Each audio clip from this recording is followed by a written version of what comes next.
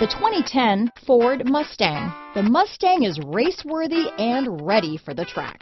This vehicle has less than 15,000 miles. Here are some of this vehicle's great options.